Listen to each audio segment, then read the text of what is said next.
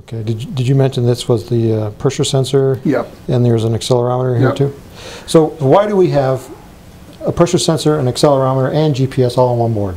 Well, GPS is really wonderful for knowing the latitude and longitude of the rocket, um, but GPS is somewhat challenged for determining altitude.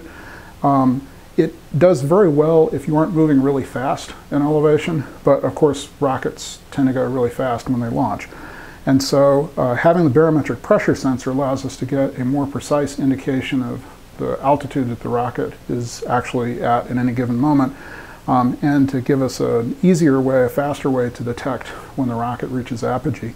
The accelerometer, uh, we initially put that on the board because my partner are also interested in research, motor development, and this does allow you to collect enough data to be able to uh, characterize the performance of a research motor and determine what its actual you know, performance is. But it turns out it's also really handy because it means that if you're going to fly faster than speed of sound, we don't have any configuration required for Mach delay settings or anything like that. Because using the accelerometer, we can tell when the rocket's moving really fast. And therefore, our barosensor won't be fooled into accidentally deploying the parachutes early or Okay. something like that because of the pressure transitions that occur as you go through the Mach transitions. Okay, so now we got this great board, Right. and we're gonna mount it in a rocket. Um, How are we gonna talk to it, and how are we gonna get data off of it? Okay, um, so normally when you're on the bench or at the field and you're doing configuration of the board and charging the batteries and all, you'd use a USB cable from a notebook computer or a desktop computer plugged into the board. Uh, as we've already mentioned, that would allow you to charge the battery.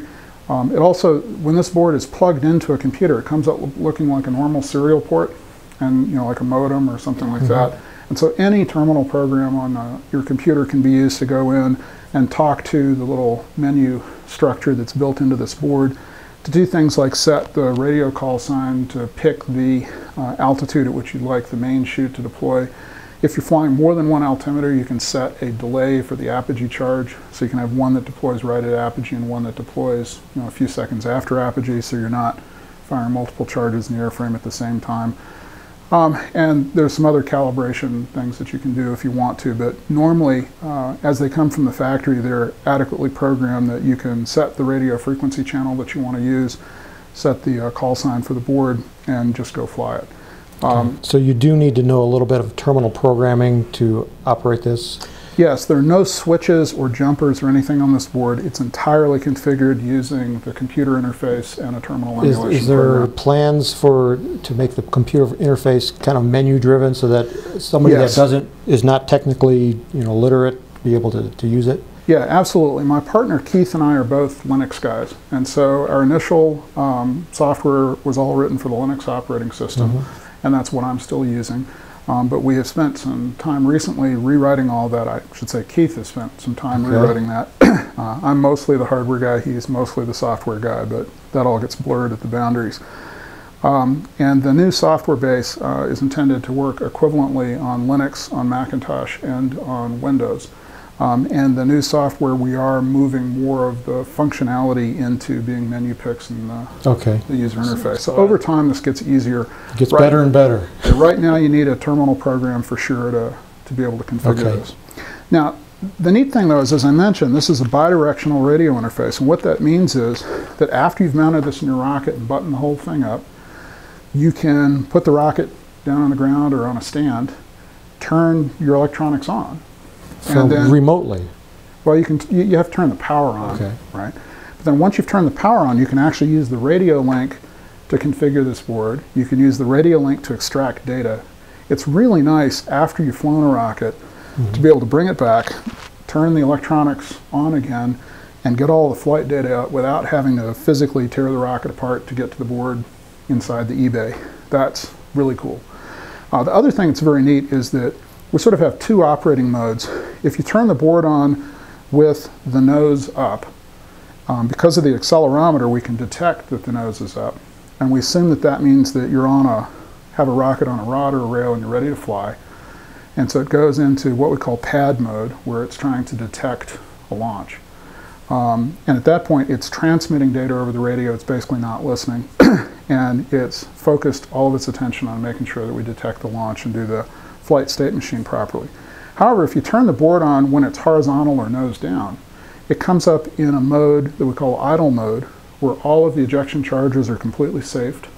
And so, um, what's neat about this is you can actually do uh, ejection deployment testing on the ground without having to do the things we've had to do in the past of you know running some extra wires in through the static port to get to the charges or or something like that. You can just load your rocket up like it's ready for flight, sit it down out in the grass somewhere safe on blankets, whatever you normally do, uh, turn it on in idle mode, then you can come in over the radio link and command it to fire the ejection charges to do testing. Uh-huh. Another neat thing you can do is you can turn the electronics on while the rocket's horizontal.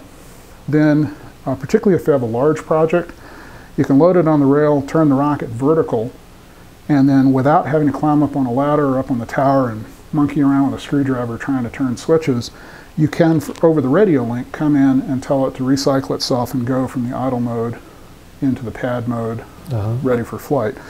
So we think physically that that's a lot of times safer because then you don't have people standing on the top of step ladders and other things like that. Okay. So there's a lot of neat stuff that, that happens as a consequence of having the radio link and having the GPS on the board. And the fact that we were able to, to fit all of this on a board that's about the same size as a lot of you know, simpler dual deploy altimeters, Yeah. we think makes this you know, a fairly exciting thing to fly. Okay. And then once it's in the air, it's sending data back down to the ground. Now, how do you, how do you get that data back? Well, uh, when you're, uh, let me grab this and I'll show you. What we normally have is some kind of an antenna. This is a commercial three-element Yagi. So this will be something that you have to get separately. Yep, Okay. exactly. Uh, this is not part of the kit because uh, there are plans out on the internet uh, for antennas that you could build. Um, if you're not flying very high, you can even use a simple just wire whip antenna on this board, and that would be sufficient. I flew lots of our test flights with this just taped to the top of the back of my Suburban with a wire whip, and that works surprisingly well. But uh, nowadays, what we tend to use is use one of these uh, Yagi antennas. As you can see, this is the same um, ground piece. We call this as a teledongle. It's you know, the USB to, to RF interface. We mount that right here at the feed point of the antenna, and then using the USB cable, we plug that into a laptop. We run the software on the laptop, and then during flight, we can point this antenna in the general direction where the rocket is, and we get good data all the way through the flight. Okay. And uh, we have some data here on the computer